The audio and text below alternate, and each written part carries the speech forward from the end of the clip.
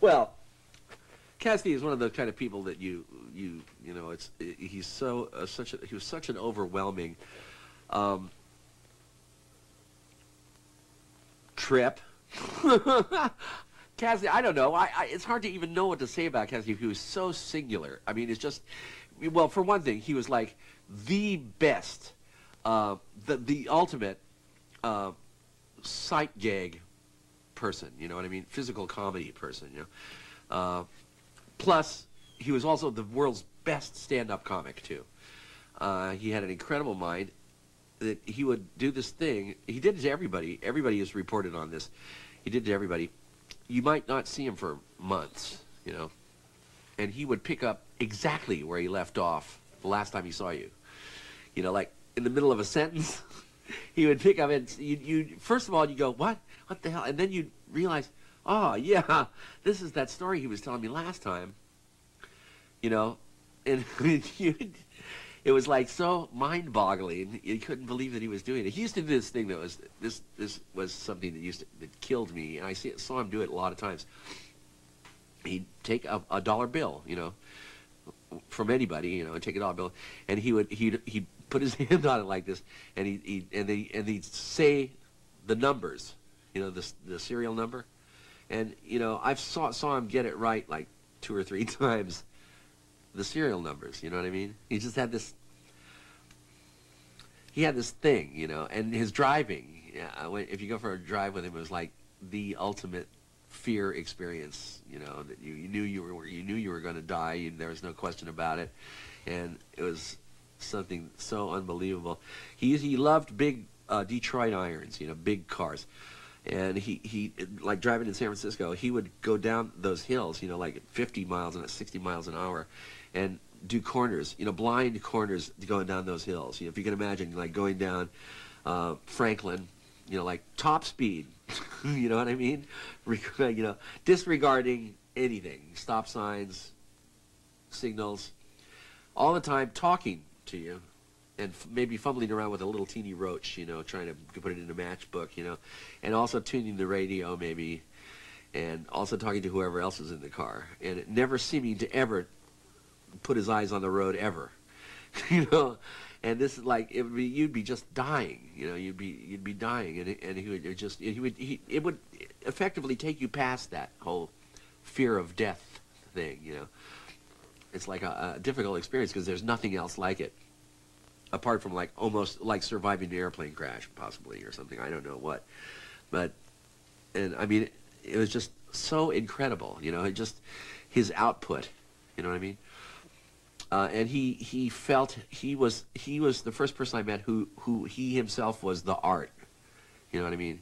He was an artist, and he was the art also. And he was doing it consciously as well. You know, so he had he did things. He he worked with the world. I remember one time after a a, a party, or uh, after the Watts acid test, which was particularly strange, and we drove the bus over to the Watts Towers. Uh, for uh, a minute or two and we got out and looked at them, you know, and we were, you know, it's dawn. We went over to Wavy Gravy's house, which was down in like, oh, off of Western, you know, way the hell off somewhere funny in Los Angeles. And they had a little house, and we had the bus there, and a bunch of us are sitting on the lawn, and we're all kind of crunched from being up all night, stoned on acid. You know, it's like the dawn. It's Sunday morning now.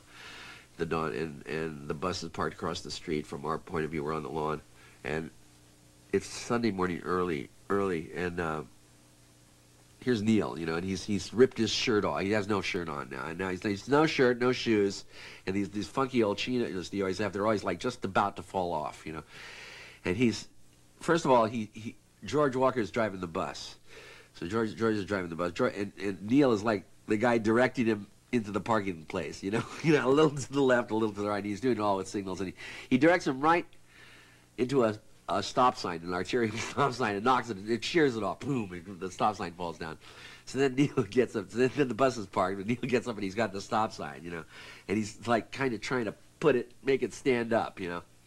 And so he's there with this stop sign, and down the street come like two really straight little old ladies. You know, they're on their way to church Sunday morning. You know, and here's Neal. He's like the cosmic village drunk. You know what I mean? He's like, and he's got the stop sign. You know, they're they're trying not to see him. You know, and he's doing this whole whole series of uh, kind of like, "Good morning, ma'am," you know, kind of pantomime. You know, this extravagant thing all the time with.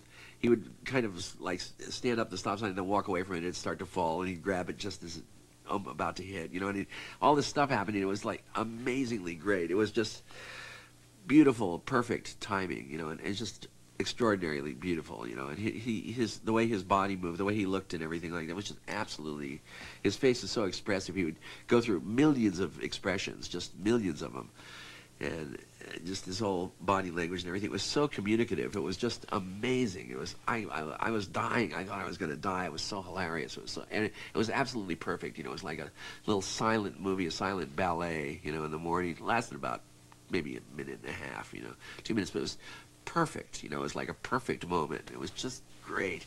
And I mean, Neal, Neal was that guy. I mean, he, he, he just could do that. You know, that's that's who he was. You know, he was that guy in the real world. You know, he was this, this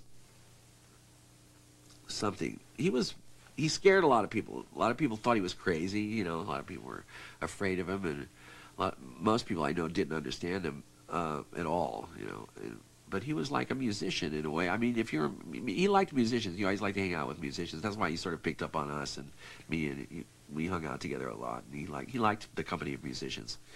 When you were living in Haight, was he around during that? Yeah, he was off and on. He stayed up in our, our attic when we were in three seven ten. He had a little little camp up there, you know, with a mattress and his his old chinos, his old jeans and stuff like that were up there. And he would come in and hang out for a week or so every month or so, you know, every couple of months maybe, you know, he'd come in and, uh, yeah. About the, the